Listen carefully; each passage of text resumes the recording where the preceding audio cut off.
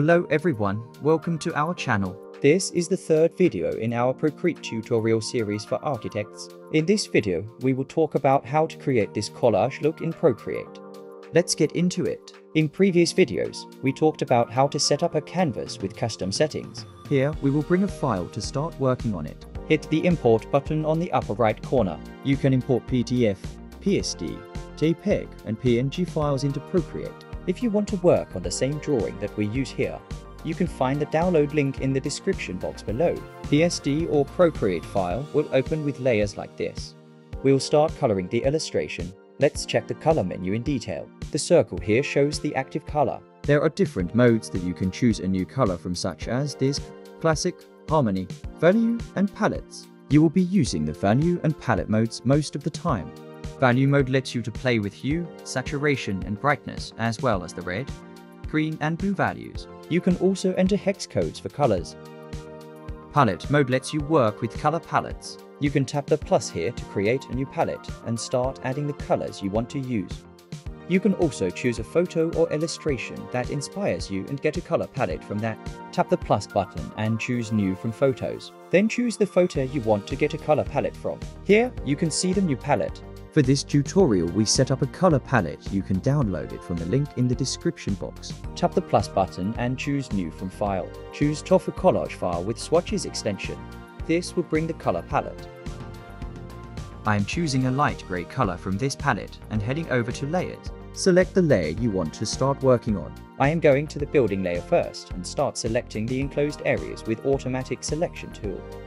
Then I create a new layer to start color filling these areas. I continue the same process with different areas and different colors. I create a darker gray area for the places where I imagine would be in shadows, and a blue color for the glass material, and a different shade of gray for window frames.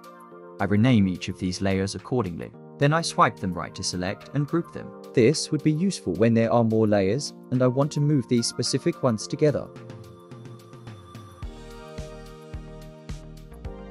I color fill the path and the landscape similarly. I keep the original layer and create a new layer to make these color fills.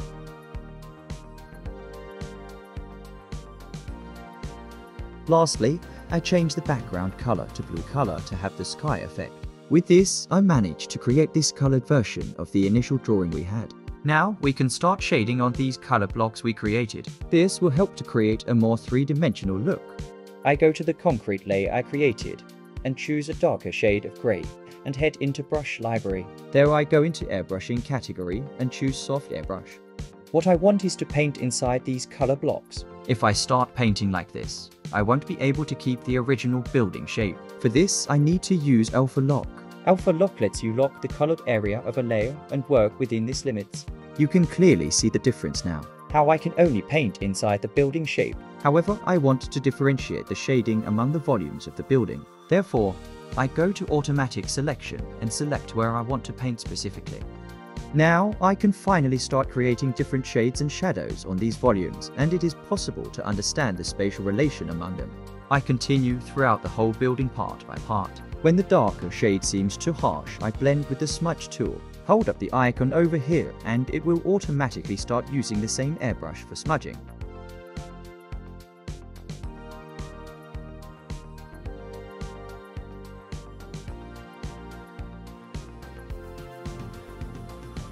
When I am done with the building, I alpha lock the path and grass area to add some shadow over them. The grass area has a big area of shadow and it is more difficult to blend it. I head over the adjustments there I choose the Gaussian blur. This will allow me to blur the layer so that the shadow area will blend easily. Now that I created this three-dimensional looking setup, I can finally start creating a scene. For this, we prepared a package of illustrations and brushes. You can use your own illustrations or if you want to use the same ones we use check the description box below. Tap the gallery button and import the Procreate file. This exact file with all the layers will show up in your gallery. Start swiping right on all the layers one by one.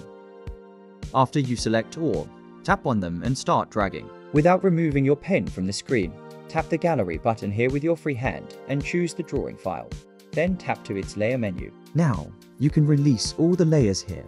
This action allowed us to copy all the vegetation to our drawing here. I will create a group with them to arrange them better.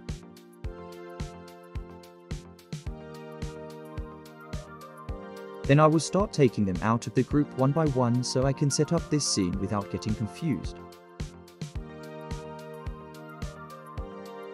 I take this background illustration out of the group to make it visible first. I arrange its size, then the layer hierarchy so it is behind everything. Then I continue the same process with all the vegetation until I create a scene the way I want. While working on this be aware of the perspective on the drawing.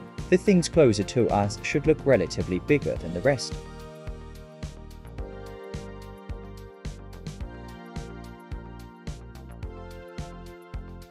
I go on and fill up the entire green land with vegetation as I wish. Your scene is totally up to you. Try to imagine how you see this space. Then I bring these two characters so that they would give a sense of scale to the scene. Then I add these birds and the sun to the sky so that they give a sense of depth. I continue making little touches until I am satisfied with the whole scene. When that's done, I start erasing the harsh finish lines of the vegetation. I use the same airbrush I used before. This will help them to blend to the background and each other better.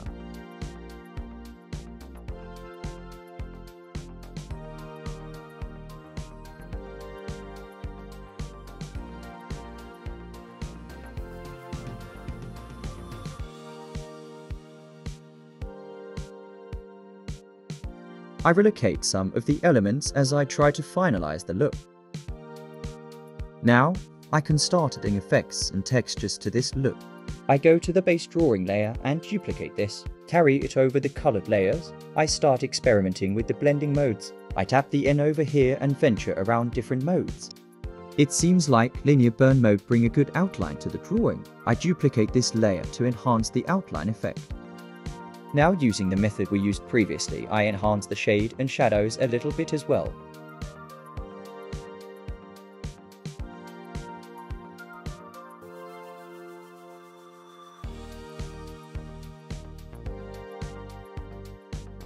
I will try the same on the windows. The glass also needs some shadows and highlights to look more realistic. I paint and blend with a darker tone for the shady areas and I paint with white for the highlights. To blend this, we will use Motion Blur. Head over to the Adjustments menu and choose the Motion Blur. You can play with the angle and the strength of the effect. I add more defined shadows around the frame as a final touch here.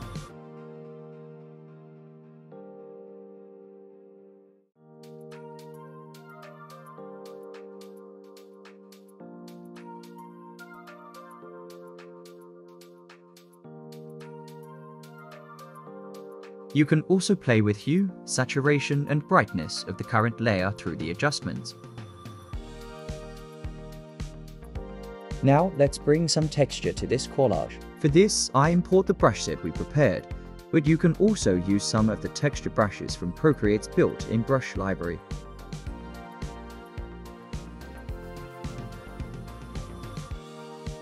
I merge two different colors of concrete layers into one layer and start working on a new texture layer. I need to use clipping mask here. Clipping mask will clip the limits of the texture according to the limits of concrete layer. You can clip multiple layers this way. I am also playing with blending mode and opacity to find the best matching style for this texture. I raise the excessive amount with soft airbrush.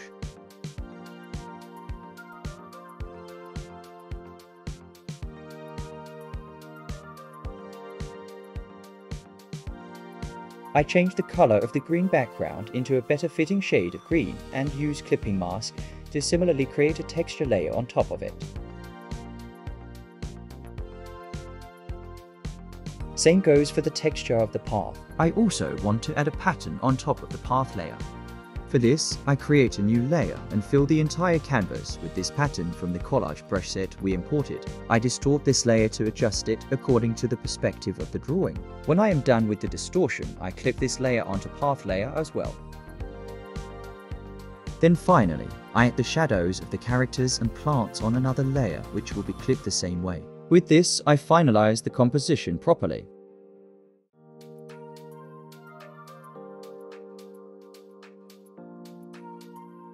From collage brush set we imported, I use the texture brush one and adding this texture to the entire canvas and start playing with blending modes. Soft light created the texture I wanted in a subtle way. Now, I head over to the Actions menu and export this drawing as PNG. Then I go to Add menu and choose Insert a photo to add the recent export we got from this drawing. You can see the whole drawing as a merged layer in the inserted image. Duplicate this layer. We will be experimenting with some effects.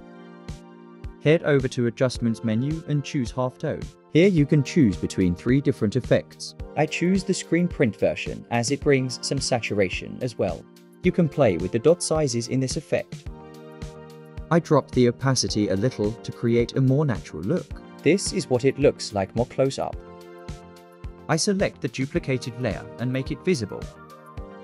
Head over to the Adjustments menu and choose Gradient Map. This brings the gradient library which will allow you to apply a gradient map onto your image. It affects the drawing like a filter.